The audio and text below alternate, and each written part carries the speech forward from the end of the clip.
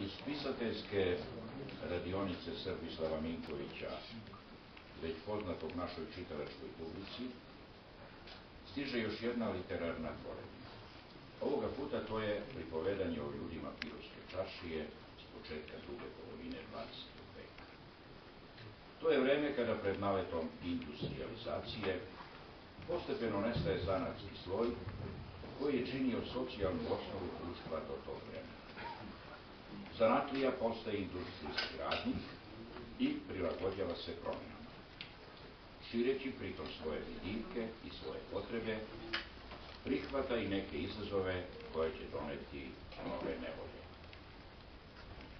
Junaci priče su Toša Papurko i njegova žena Nada i njihove komšije Sava Krža i njegova žena Lenka. Prvi je bio zanatlija, čuveni ključija, ali imao i drugih znanja iz drugih zanata i u sve se raspirao. Njegov komšija Sava nema vešte ruke, ali je dobar knjigovođa. On čita novine, čita knjige, ima i radio, meša se sa snarom. Pa kad zakaže za razna čudila po svet, milina da ne slušaš. O slozi i prijateljstvu, ali o nekim dramatičnim događajima iz života ovih porodica pripoveda Minković. To je takođe priča o ljudima odanim patrijarhalnom sistemu vrednosti, koji iskorak iz tog sistema doživljavaju kao duboke lične drame. Minković koristi lokalni govor i kao njegov odličan poznavalac to čini sa značajnom odgovornošću. On, za razliku od mnogih spisatelji iz našeg kraja, poštuje dostojanstvo svog dijalekta. Ne zloupotrebljava ga u cilju postizanja plitke ili vulgarne komike. To je pristojan jezik, čak i kada slika lascivne situacije. Njegovo pripovedanje je slikovito, puno vešto odabranih detalja.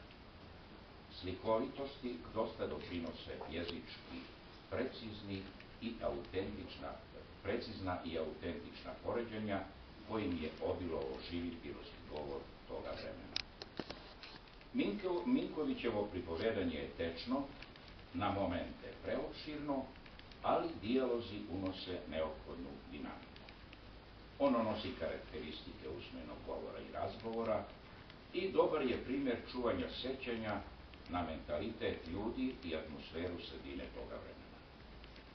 I što je još važnije, čuva urbanu varijantu pirotskog govora druge polovine 20. veka, otkrivajući mnoge njegove osobine, kao što su slikovitost, jezgrovitost, sinonimičnost, metaforičnost. Te osobine ove jezik čine pogodnim i zahvalnim sredstvom i za ozbiljne literarne poduhvate. Zbog svega rečenog, pre svega zbog tečnog i zanimljivog kazivanja, pripovesť môže byť so sympatiama prichvečená, počítala naše sredine. Nádežda Čirič, profesor Nižernic.